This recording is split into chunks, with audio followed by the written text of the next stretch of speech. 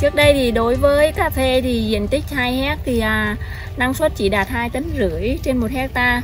Thì nhà 2 hecta thì được 5 tấn 5 tấn mà nếu mà giá thì à, cũng phụ thuộc vào giá hàng năm. Nếu như mấy năm trước thì giá nó cũng thấp lắm giá có 40 ngàn 38 ngàn một ký thôi. Thì như vậy là chỉ được 200 triệu.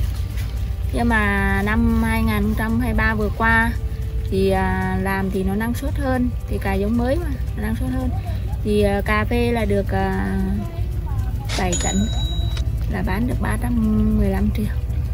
Còn tiêu là 5 tấn thì bán được à, 320 triệu. Sầu riêng vừa rồi được tấn rưỡi thì bán được 90 triệu. Tổng thì tổng thu nhập mà trên cái hai cái diện tích trên 2 hecta này thì nó trên 700 triệu. Vừa rồi là chia sẻ của bà Mai Thị Dung, trưởng nhóm nông dân thuộc chương trình Nescafe Plan của công ty Nestle về khu vườn 2 hecta đang trồng cà phê, xen canh hồ tiêu, sầu riêng tại xã Ea Tiêu, huyện Chư Quynh, tỉnh Đắk Lắk. Khu vườn này là hình mẫu trong canh tác sản xuất cà phê bền vững có sự hỗ trợ từ chương trình Nescafe Plan. Bà Mai Thị Dung được tập huấn về kỹ thuật nhận biết độ ẩm trong vườn để ra quyết định tưới nước, sử dụng máy cắt cỏ để làm sạch vườn, tận dụng cỏ dại, vỏ cà phê, ủ phân bón hữu cơ, vi sinh.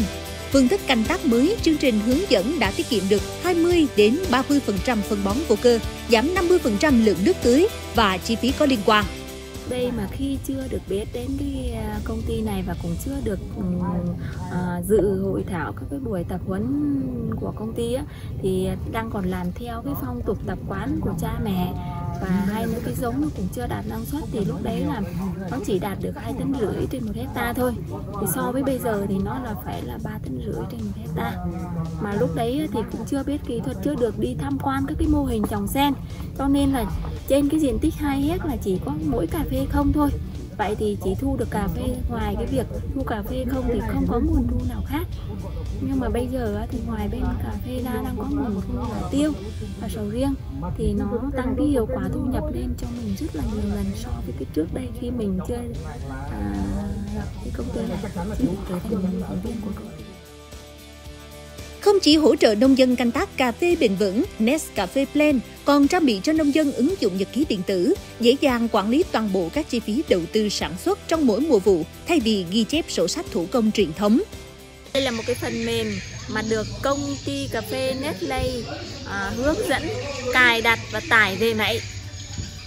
Thì à, trong cái phần mềm này nó sẽ hỗ trợ cho bản thân gia đình nhà mình là không phải ghi chép nhưng mình vẫn biết được cái lợi nhuận, tổng chi phí và cái lợi nhuận của mình sau một năm làm cà phê. Đây là giá bán sau khi mình bán sản phẩm này, mình gõ vào, mình bán này giá mình bán chẳng hạn là mình à, vừa rồi là mình được 7 tấn. Chỉ cần nhập hai cái đó vậy số lượng và giá bán ngay lập tức nó sẽ liêu ra cho mình luôn. Đây về báo cáo của tôi liền không cần phải làm gì tổng thu nhập nó sẽ ra từng 315 triệu lợi nhuận nó sẽ ra 246 triệu chỉ vậy thôi là xong Bà Mai Thị Dung đang là nông dân điển hình trong chương trình Nescafe Plan, bắt đầu tham gia chương trình từ năm 2015 với tư cách thành viên. Đến năm 2019, bà Dung được các hộ nông dân tin tưởng bầu chọn làm trưởng nhóm, đang quản lý 72 hộ với 42% thành viên là nữ nông dân, đồng bào dân tộc thiểu số. Khi ở vườn làm nông dân, nhưng khi dự hội thảo hay đứng lớp tập huấn, bà Nhung giống như diễn giả, hào hứng chia sẻ kinh nghiệm, lan tỏa và truyền cảm hứng về kỹ thuật canh tác nông nghiệp bền vững, vừa giúp bảo vệ môi trường và có thu nhập cao.